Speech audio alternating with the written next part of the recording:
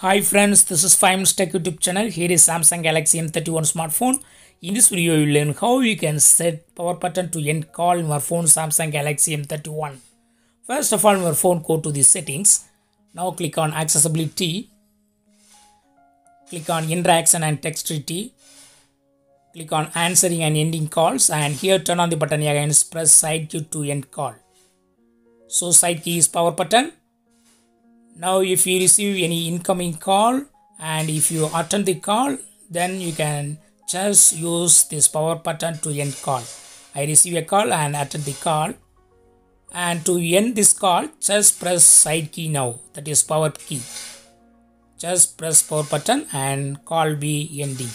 So it'll be easy to end your call. You can make sure your call is end using side key. Instead of touch, you can use side key to end call. If you turn off that button, side key will not work for ending call. That's all friends. Bye.